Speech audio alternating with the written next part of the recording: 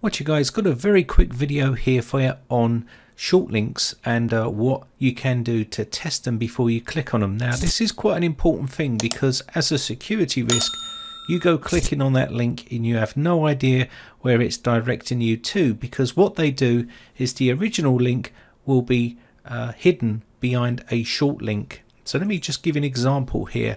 Look at my uh, Twitter.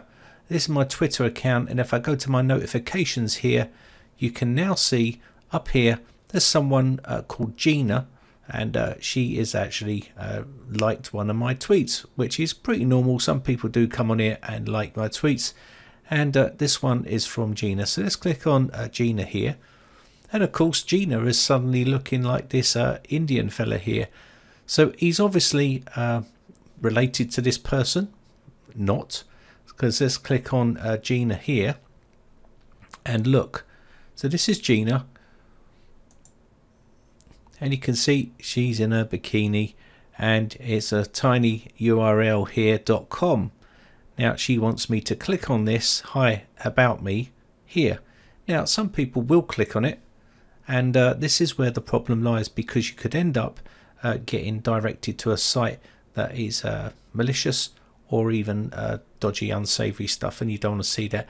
Now this poor chap here has probably had his uh, Twitter account hijacked by someone.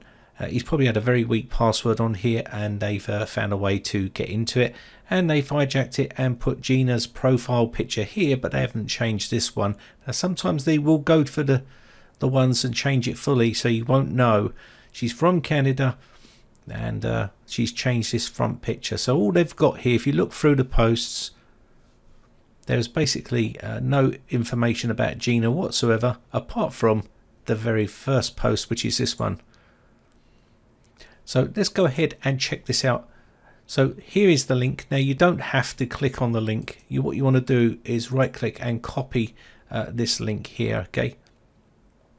So you can see it's going to tinyurl.com which will mask the original link. So you can go to check short URL or sites of the like and you can paste it in here. And if you want to do a quick search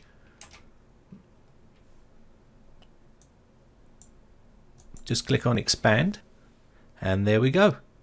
You can see underneath here it will give you a peek page of what it's going to. So you can see here some sort of uh, German or dating site or something like that or some sort of porn site and that's where it's linking to. So it's sending me to this place here and this could be an unsavory site for uh, yourself or youngsters or anything like that. So don't go clicking on uh, stuff that you don't understand because obviously some of these will be uh, malicious and you could end up falling into that trap.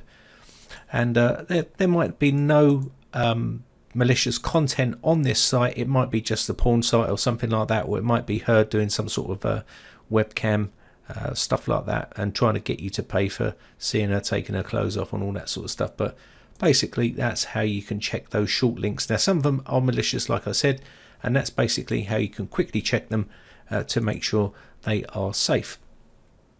Just a quick video. I hope this one helps you out. My name is Brian from briteccomputers.co.uk. thanks again for watching Bye for now.